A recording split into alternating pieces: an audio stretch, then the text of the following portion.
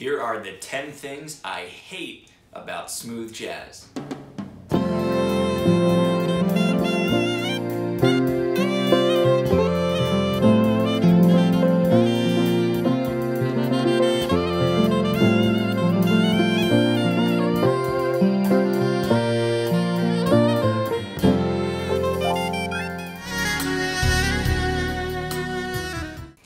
People actually enjoy listening to it. Jazz is supposed to be confusing and hard to follow. You're not supposed to actually like it.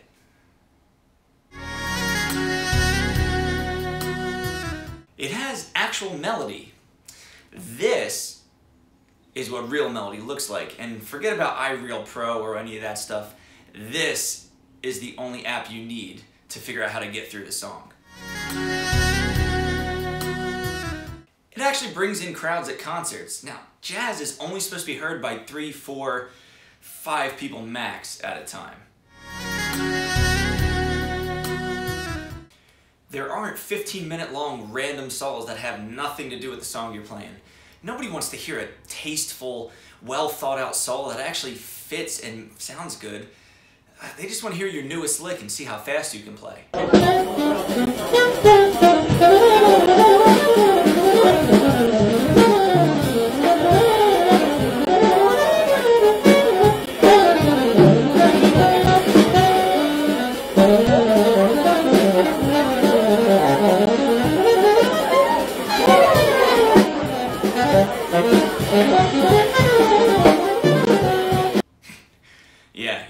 Really cool, bro.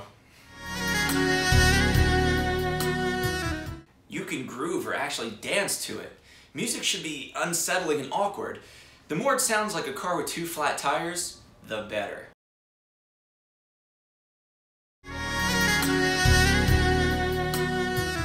In smooth jazz, you don't even get to argue about who played it better 75 years ago, because they all know who the real king is.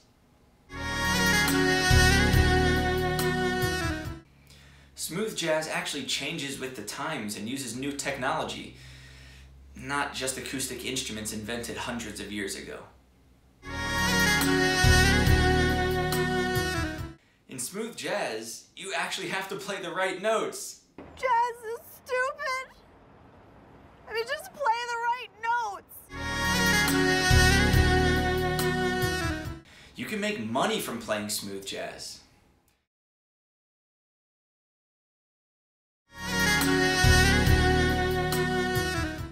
And the number one reason why I hate smooth jazz is that it sounds good. Wait. Well, I'm glad I got all that off my chest. Now I want you to let me know what you hate about smooth jazz, and I'll see you in the next video.